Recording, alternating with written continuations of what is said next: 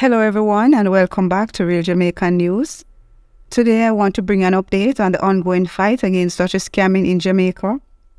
In a recent joint operation between the Lotto Scam Task Force and the Area 1 Special Operations, a suspected scammer was apprehended and charged in Barrett Town, St. James. The suspect, Randy Spence, also known as Brown Man, was a mechanic residing in the community. During the operation, which took place between 5 a.m. and 8 a.m., the team went in search of individuals suspected of being involved in lottery scamming. Two motor vehicles, BMW and a Toyota Noah, were also seized during the operation, and they are believed to have been purchased with illegal funds. We all know that lottery scamming has been a persistent problem in Jamaica, and this is good news to see that the authorities are still taking decisive actions against it. The efforts of the Lottery Scam Task Force and the Area 1 Special Operations in combating this illicit activity are commendable.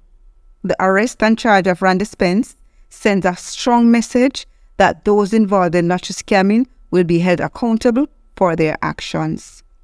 Even though Randy Spence is not the first scammer to be arrested, the fact that a scammer is arrested does not stop other scammers from continuing their illicit activities. What they're doing, they're living in the moment they have a made up mind and they decided that whatever happens, happened, but they're living their best life now. But at the end of it all, they know that someday they will get caught. But for right now, they are just living in the moment. It is important to remember that the fight against lottery scamming is far from over. Because every day a new lottery scammer is born. If you talk to a little child, 14, 15, they want to be a scammer. The police need to continue their efforts to eradicate this practice and to protect innocent persons from falling victims to these scams. Anyway, guys, that's all for now. Stay tuned for more updates on the latest news and development in Jamaica. Thank you for watching. Peace out. Bye.